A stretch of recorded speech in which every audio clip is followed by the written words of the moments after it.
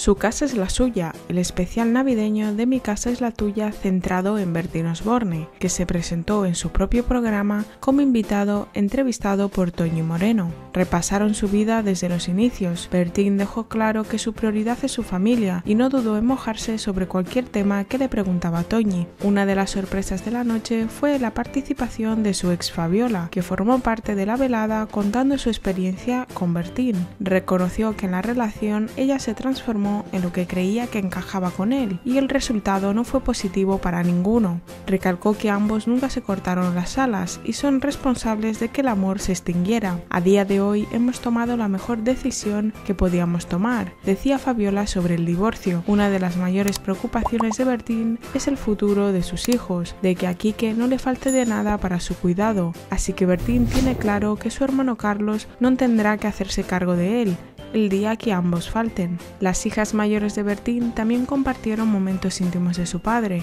recordaron emocionadas a su difunta madre y de cómo fue difícil al principio congeniar con Fabiola, aunque luego se hizo querer mucho, según contaban las tres hijas de Bertín. El capítulo terminó con Bertín sentado en la mesa para picotear algo, recibiendo la sorpresa de sus hijas y el reencuentro tras casi un año desde el divorcio con Fabiola.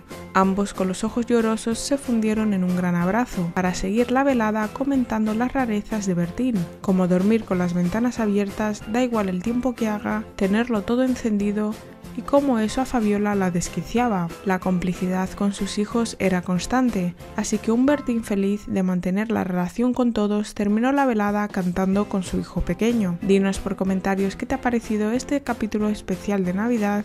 Recuerda suscribirte al canal para no perderte nada. Nos vemos en el próximo vídeo.